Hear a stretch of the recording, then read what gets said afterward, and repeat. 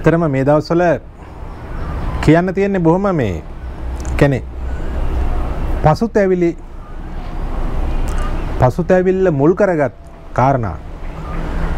එකැනේ මෙච්චර ලොකු උත්සාහයකට යෙදිලත් එ කිසිවක් සාර්ථක කරගන්න බැරිවුණේ ඇයි කියන එක. එක තමයි එක කාටද අපි දැන් මේක වරද පටවන්නේ? එම නැත්තං අපි අපි හැමෝම මේක යම් යම් කොටස්වල වරද පිළිගන්න ඕනිද? බලන්නකො දැන් ඇවිල්ලා මේ ජනමාධ්‍ය ඉස්සරහට ඇවිල්ල කියන කතා. මිනිසුන්ගේ වචන වචන නාන ප්‍රකාර වෙන්න පුළුවන්. එවනට මිනිස්සු ඒ විදිහට බඩජාරිකමට තමන්ට හිතෙන හිතෙන හිතෙන විදිහට එක එක වෙලාවට තමන්ගේ ආත්මය පාවා දෙමින් එවිදිය පිල්මාරු කරමින් තව ජනතාව විස්රාටත් ඇවිල්ල මේ විදියට කතා කරන්න පුළුවන්න මහිතන එක පුදුම වැඩක්. දේශපාලනික ප්‍රශ්නය निराකරණය වෙමින් පවතිනවා. පාර්ලිමේන්තුවේ අතිමහත් බහුතරයත් සමග ජනාධිපතිවරයෙක් පත් වෙලා ඉන්නවා. ලෝකයේ ඉල්ලපු දේශපාලන ස්ථාවරත්වය අද රටේ පාර්ලිමේන්තුව හරහා ලබා දීලා තියෙනවා. පාර්ලිමේන්තුවට മന്ത്രിවරු පත් කරලා ඉවලා තියෙන්නේ අවුරුදු 5ක ජනවරමකට. ඒ නිසා පවතින ආණ්ඩුව ඉදිරි අවුරුදු දෙකහමාර දක්වා ස්ථිරව ක්‍රියාත්මක වෙනවා. මේ අවුරුදු දෙකහමාරකින් පස්සේ තමයි අපි මැතිවරණයකට යන්නේ. ඉතින් අපි කල්පනා කරනවා මේ විදිහ එවුන්ට කොහොමද අපි උත්තර දෙන්න කියලා. හැබැයිතින් එක අතකට හොඳයි කතකට හොඳයි කියලා කියන්නේ මේ මේ විදිය කතා ඇහෙන්න ඇහෙන්න මිනිසුන්ගේ එකන ඇතුළේ සැඟවෙන්නට උත්සාහ කරන ඒ වේගය අපව අපව එලියට එනවා. එක හොඳයි එහෙම එන එක.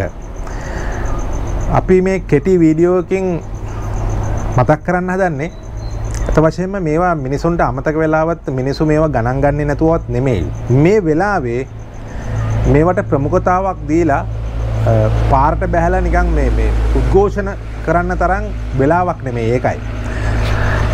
එහෙම නැතුව මේ වගේ කතා ඇත්තරම කියනවා නම් මහජන උනන්දුව උද්‍යෝගය විරෝධතාව හරි විදිහට තියෙන වෙලාවක නම් මේවා ඉතින් මොනව මොනව වෙලා කෙලවර වෙන කතාද කියලා කියන්න අමාරුයි. ඔබ හිතන්නකෝ කෙලින්ම කියනවා ඇවිල්ලා මහජනතාව විස්රාට මහජනයාගේ ඒ ජනමාධ්‍ය ඉස්රහට ඇවිල කියනවා නෑ ඉලෙක්ෂන් එකක් නෑ මහමැතිවරණයක් එන්න නෑ තව අවුරුදු දෙකා මාරකටද ඔන්නොම දෙකයි මාස ගානකටද කියලා. ඉතින් ඒක එහෙම කියන්න පුළුවන්වීම මේ වගේ වෙලාවක ගැන අනීතික විදිහට ජනාධිපති කෙනෙ පත් කරගෙන ඒ ජනාධිපතිට කියලා අගමැති කෙනෙක් පත් කරගෙන ඇමති මණ්ඩලේ පත් කරගෙන ඒ ඇමති මණ්ඩලෙට රිංගලා තමන්ගේ පක්ෂත් මාරු කරලා කරන්න පුළුවන් ඔක්කොම දහජරා වැඩ කළා මූ ඇවිල්ලා අපට කියනවා උඹලට ඡන්දයක් දෙන්නේ තව අවුරුදු දෙකමාරකටවත් කියලා. ඉතින් එතකට ඒක සම්බන්ධයෙන් මහ ජනතාව හැටියට අපි මොනවද කරන්න ඕනේ? අපි කලබල වෙලා දුවගෙන ගිහිල්ලා මූව අල්ලලා එහෙම විශාල විනාශයක් කරන්න ඕනේද? නෑ. එහෙම නැත්තම් අපි මොකද කරන්න ඕනේ? අන්න එකයි අද ඔබට මේ ලොකු කලකිරීමකින් සහ අතවශයම කියනවා නම් දේශපාලනය ගැන තවදුරටත් කතා කරනවද නැද්ද? කියන වගේ ඒ තරං දැඩි කම්පාවකින් තමයි මේ කතාව ඔබට කියන්න ආවේ. මේක නොකියම බැරිහින්ද කියන්න ආවේ. එකැන මේ වගේ වුන් මෙහෙම කතා කියනවා ඇහුනාම එකැන ඇඟ නලියනවා. මොකක්ද මේ? මොකක්ද මේ රට? ඇයි මෙහෙම වෙන්න පුළුවන්? එතට විරුද්ධ පක්ෂ දේශපාලනය කරනය වුන් මොන්න තරං හීලෑද? මොන තරං නිවටද නියාලුද කියලා හිතෙනවා. එකයි ඒකයි අර සරත් ෆොන්සේකගේ කතාව ගැන අපි කිව්වේ. එක අපට හොඳට ඇහුණා කියලා. එහෙම නැතුව සරත් ෆොන්සේකාව මේ රටේ ජනාධිපති කරන්නවත් එහෙම නැතුව සරත් ෆොන්සේකාගේ නායකත්වය යටතේ චන්ද කරන්නවත් එහෙම මගුලක් නෙමෙයි. හැබැයි දැනට පාර්ලිමේන්තුවේ ඉන්න මිනිෙක් ඒ පාර්ලිමේන්තුව ඇතුළේම ඉඳගෙන කියනවා ඔවු ජනතාවට උඹලා වංචා කරලා තියෙනවා. මේක ජනතාව බලාපොරොත්තු වුණු ප්‍රතිඵලය නෙමෙයි. මේ පාර්ලිමේන්තුව ජනතාවගේ තේරීමක් නෙමෙයි. අගෝස්තු 9 වෙනිදා ජනතාව කොළඹට આવොත් අපි ජනතාවත් එක්ක ඉන්නවා. එන්න කොළඹට මාසයක් හරි යමු කියලා. එහෙම කියනවා. ඉතින් ඒ ඒ කියමන ගැන අපි කතා කරන්නේ නැද්ද? එකෙන් එකෙන් කියන්නේ අපි ඔහුව යම්කිසි දේශපාලනික ආස්ථානයකට ප්‍රමෝට් කරනවා කියලා. ඒක නෙමෙයි. එහෙම අවශ්‍යතාවක් නැහැ. ඒ කියන්නේ අපි හැමදාමත් කියන්නේ එහෙම පුද්ගලයන්ව නග්ගන්න එපා. එහෙම පුද්ගලයන්ව වේදිකාගත කරන්න එපා කියලා. එහෙම නෙමෙයි අපි කරපු දෙයක් නෙමෙයි අපි කවුරුත් කරපු දෙයක් නෙමෙයි. ඔහුගේ විහිංම ඔහු ඇවිල්ලා එක කියනවා. ඒතර කිසි කෙනෙක් ඒක කියන්නේ නැති වෙලාවේ ඔහු ඇවිල්ලා කියනකොට ඒක සම්බන්ධයෙන් අපි කතා කරන්න ඕනේ. අපි ඒකට සහයෝගය දක්වන්න ඕනේ. අපි ඒක අනුමත කරන්න ඕනේ සහ අපි ඔහු එක්ක ඉන්න බව ඒ කාර්යයේදී අපි ඔහු එක්ක ඉන්න බව කියන්න ඕනේ. මොකද මේ මේ මනුස්ස නානා ප්‍රකාර වගේ කට්ටිය ගැන මනුස්සයෙක් වුණොත් එහෙම නානා ප්‍රකාර විදිහට උදේටයි දවල්ටයි හවසටයි හැසිරෙන්න බෑ යම් කිසි විදිහක මොනවහරි මොනවහරි පුද්ගලික ජීවිතේ නම් අපි දන්නේ ඒක ගූහෙලියක් වෙන්න පුළුවන්. ඒ වුණාට සමාජ දේශපාලන ජීවිතයේදී ප්‍රතිපත්තියක් කියලා දෙයක් තියෙන්න ඕනේ. එහෙම දෙයක් නැතුව තමන්ට ඇමතිකමක් හම්බෙනවා නම් ඕන ජඩ බලු වැඩක් කරන්න පක්ෂ මාරු කරන්න සල්ලි කුට්ටියක් හම්බෙනවා නම් ඕන කෙනෙක්ව පාවල දෙන්න. එහෙම එවුන් ඇවිල්ලා අපිට කියනවා. අපි මහජනතාවට කියනවා. උඹලට ඡන්ද නැහැ. උඹලට උඹලගේ තේරීම උඹලගේ පරම අයිතිය ඒක නෑ උඹලට. දෙන්නේ නෑ උඹලට ඒක. එතකොට මහජනතාව තෝරපු 69 ලක්ෂකින් තෝරපු ජනාධිපතිව එලවලා දැම්මට පස්සේ අර පාර්ලිමේන්තුව ගෙන ගුබ්බෑම ඇතුළේ ඉන්න ඔවුන් තෝරනවා තව එකෙක්ව. ඌට ඉන්න පුළුවන්ලු ඊළඟ සම්පූර්ණ කාලයම. ඉතින් ඒක කතා කරන්න ඕනේ ඔය ව්‍යවස්ථාව ඒක සම්බන්ධයෙන් තියෙන්නේ කොහොමද කියලා බලලා. ඒ දන්නේ ඔවුන් කතා කරලා කියන්න ඕනේ.